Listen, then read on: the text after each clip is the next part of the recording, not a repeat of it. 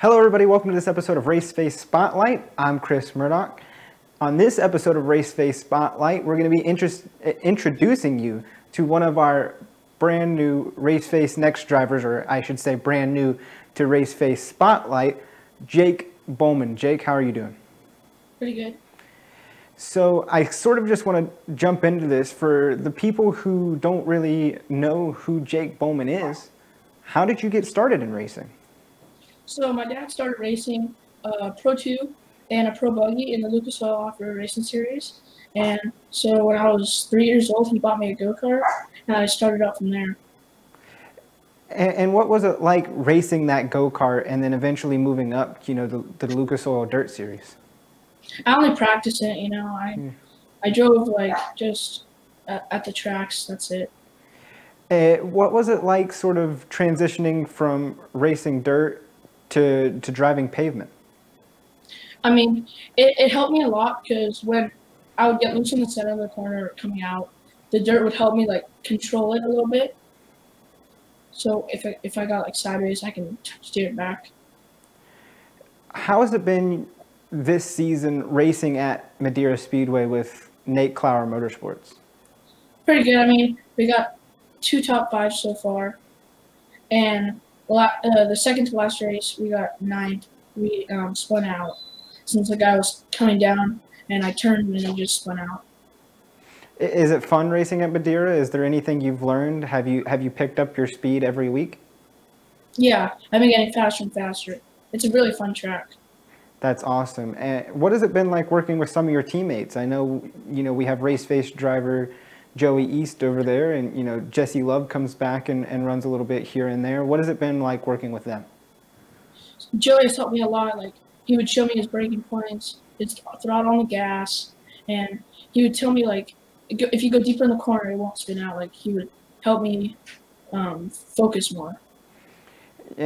And what has you know the transitioning from you know a, a, an off-road car to a stock car been like? You know, racing those big junior late models. I mean, I feel like it's great practice around being other cars. They're bigger, and my dirt car is really small, and it's not as big. So this is like probably the biggest car I've driven. And I understand you've been racing some Legends cars at the Las Vegas Bullring. Is that correct? Yes. How has that been going so far? Been pretty good. I won one race so two races so far in the young lion class, and the last week or a couple weekends ago, I wrecked since he um, a, a guy came down and I hit him. He was just rolling backwards, so yeah, that was a tough weekend. yeah. That it always sucks when you wreck the car, doesn't it? it it's yeah. it's always a bad day. So what is what has it been like transitioning from you know the junior late to the legends cars? Is there anything you have to do differently for the for the two tracks and the two cars? The junior late it's more like like you have to like smooth like more smooth than the legend car. The legend car you have to hustle it, you have to get into the corner, you have to get it out of the corner. You can't you, the late model you can drive it, get on the gas and go. Is there one in particular you like better? Do you like racing the Legends car more or the Junior Late model? I pretty like them both. I like that, them both. Yeah, that's awesome. Uh, and how has it been, you know, switching back and forth? Because I know you you run at Madera some weeks, and on your off weeks, sometimes you take the Legends car and you go to the bull ring. How has it been? Has it been fun, you know, doing that traveling and going back and forth and being able to drive both cars? Yeah, the bull ring is a fun track since it has a ton of banking, banking. So and like I said, this is your first race face spotlight.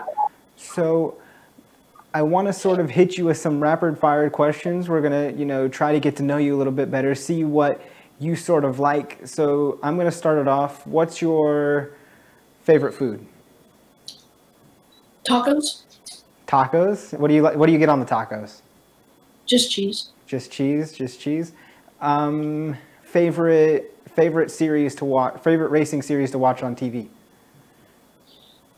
The Junior Late Model Series. The Junior Late Model Series, yeah, you can catch that on Mav TV yeah. starting up here soon. Um, pizza or burgers? Pizza. Pizza. Uh, favorite drink? I stumped you. Is there Yeah. anything, is there a, a particular drink that you drink every day? I mean, if you are a smart race, I was about to say, if you're a smart race car driver, you would say you stay drinking that water. So that's Yeah. good to hear. Um, what do you do? What do you do when you're not racing? What do you like to do? Do you play video games? Do what do you what do you like to do? I guess I just drive on my simulator, and it's a lot of schoolwork, so I have to catch up. How has it been trying to balance school and racing, you know, all season long?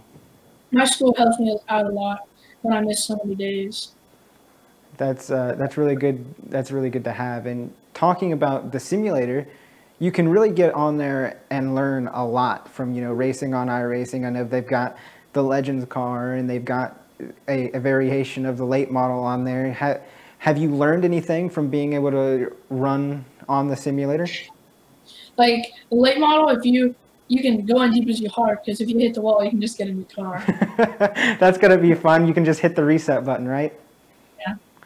So, so, so, what are your goals in racing? Do you eventually, where, where do you want to eventually end up? NASCAR, NASCAR. Do you have a favorite NASCAR driver? Kyle Busch. Kyle Busch. He he's been winning a lot lately, so you must be liking that. So, I just wanted to get those rapid fire questions out of the way. It's it's been awesome to sort of get to know you and, and where you came from in racing. Um, is there anybody that you need to thank? Any sponsors? Any family that you know help you get to the racetrack and help you out every week? I want to thank my mom, my dad, um, Naake-Klauer Motorsports. I want to thank Tony for helping me spot, and I want to thank Donnie Steenhours for running my legend car and spotting and helping me out, and Tony for the for teaching me the line, showing me for the first time at. Well, Jake, I do want to thank you for joining us and, and taking the time to talk with me on Race Face Spotlight. Uh, it's been really fun. I uh, got to learn a lot about you. Thanks for joining us. You're welcome. And that has been Race Face Spotlight with Jake Bollman. If you've missed any of our Race Face Spotlight episodes or any of our recurring shows, you can catch up on raceface.tv on demand. As always, I'm Chris Murdoch. Thanks for watching.